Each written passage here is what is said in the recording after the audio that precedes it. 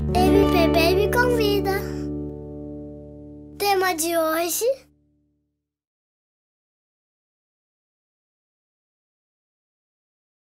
Ouvir música durante a gravidez é importante por um motivo científico, técnico, mundialmente conhecido, poderoso, que é porque é bom, porque é gostoso, porque dá prazer.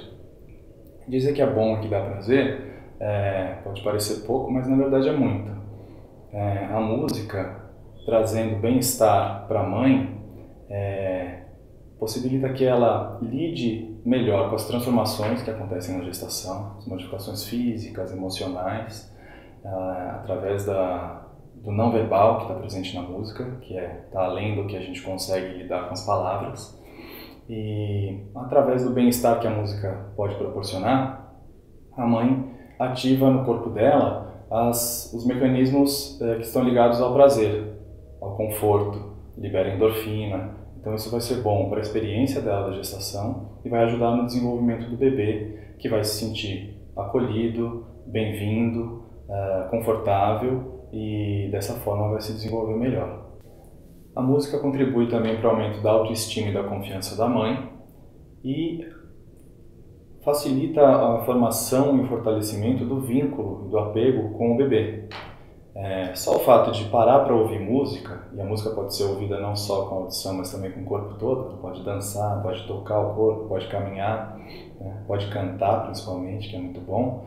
É, só o fato de escolher uma música, parar, se dedicar a esse momento, é, pensar num, num, lugar, numa posição, uma maneira de ouvir a música, né, com o bebê, cantar para ele, já é, fortalece muito o vínculo entre a mãe e o bebê e isso só tem benefícios para os dois.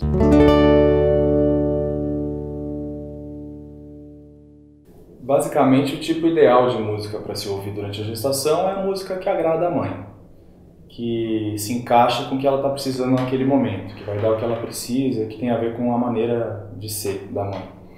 É, isso quer dizer que ela não precisa ouvir música clássica só porque alguém falou que a música clássica é boa durante a gestação. É, se ela gosta de rock, ela pode ouvir rock. Tem um aspecto interessante nas canções de Niná, nas cantigas de roda, porque são músicas que não têm muita dissonância, que têm um ritmo mais constante e que também, de certa forma, facilitam que a mãe se conecte com esse mundo infantil. Às vezes são músicas que ela mesma é, recorda da sua infância e traz essa conexão com o mundo infantil e traz uma relação mais forte com, com o período da gestação e com o feto. A música durante a gestação não precisa ser alta, isso é interessante. O bebê escuta muito bem dentro da barriga, ele está imerso em líquido e ele consegue ouvir muito bem sem que o volume precise ser alto. A quantidade de música para oferecer para o bebê também depende do bom senso.